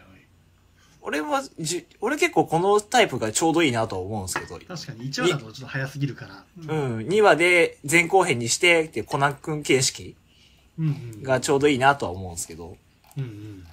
で、1話結構そのなんか、最初なんかもっさりしてるなと思ったら急にテンポ上がっていって、で、なんかアクションアニメみたいな動きして、みたいな。うーん。結構その、流れの差が激しかったりとかっていうので見応えはあって、で、2話でちゃんと事件解決してっていう感じだったんで、うん割とこれは今期は自分見ててよかったなっていう。えーなるほどねうん。というわけでじゃあ今期もね、まあ、ちょっとまあ、うん人によって好みの差が激しいのが、まあ、今期のアニメっぽいですがね、まあ、皆さんもぜひお気に入りのアニメを見つけてみてねいろいろ楽しんでみてください監督青木栄はい。うん。ということで本日もお付き合いありがとうございましたバイバイバイバーイ。はい